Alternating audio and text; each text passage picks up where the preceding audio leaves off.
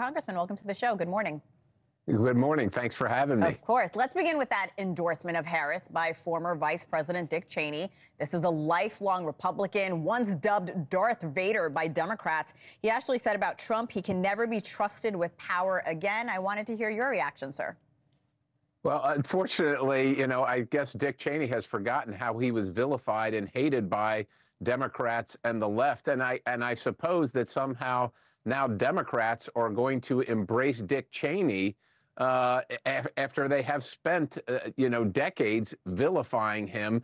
And I think it's, uh, you know, it's a obvious reversal, at least in perception, um, if not, if, if not reality, that the Democrats and now Dick Cheney are joining up for endless, forever wars.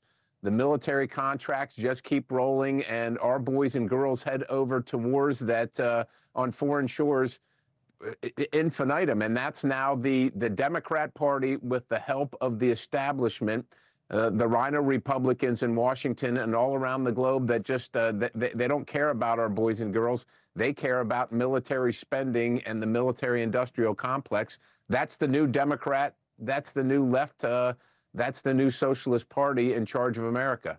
Speaking of spending, Congressman, I do want to ask you about new information coming into the newsroom this morning where House Republicans unveiled their plan to avoid a government shutdown. Can you tell us more about that plan? And more importantly, do you support it?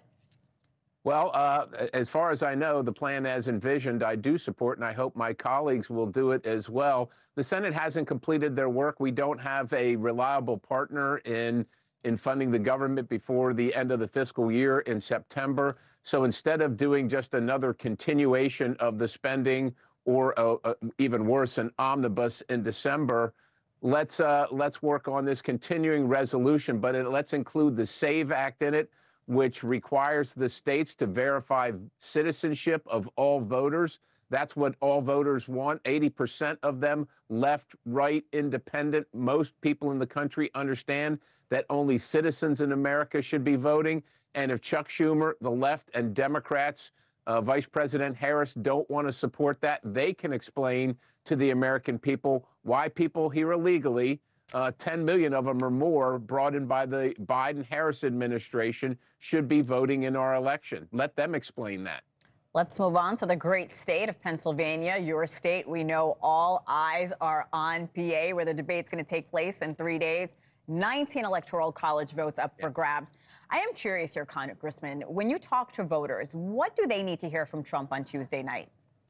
Well, Hannah, I think that voters across Pennsylvania are much like voters across the country. My voters are telling me they can't afford their groceries, they can't afford gasoline, their electricity bills, daycare bills. They can't afford the daily uh, expenses of life. A lady yesterday asked me, she told me, I know I'm paying too much taxes, because, too much in taxes because I'm paying for wars in other country, other countries while my own border is not secure. I'm paying for illegals to have cell phones, housing, food, transportation. I'm paying for them to have driver's licenses when I can't afford my own bills. That means I'm paying too much in taxes if we have that much extra money to go around for things that we shouldn't. I want President Trump to address those issues. I know that he's going to, and on behalf of this voter, because he understands that people are struggling in Pennsylvania to pay their bills under the Harris Biden and or the Biden Harris and soon the Harris Walz ticket. So I, I think that's going to be the focus of his remarks and what he's going to talk to people of Pennsylvania about. We just showed a DDHQ poll. It shows they're within the margin of error, both candidates. One topic we know that's going to come up in the Pennsylvania debate is fracking. Trump says he'll support expanded oil production. Harris, now going a bit back and forth, said she supports fracking, despite what she said a few years ago. Why is this matter so important to the residents in your state, sir? Well, uh, hydraulic fracturing has changed the landscape, the economic landscape of Pennsylvania. Towns that were derelict, people that could not afford to pay the bills for their farms for decades are now doing well because of the production of energy in Pennsylvania.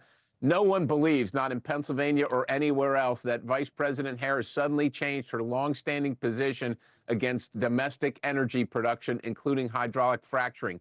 We all know she's just saying it for the cameras right now. And, and if we, she were to win, we would go right back to the current Biden Harris policy of America last. Thanks for watching. Go to joinnn.com to find News Nation on your television provider. And don't forget to click the red subscribe button below to get more of News Nation's fact driven, unbiased coverage.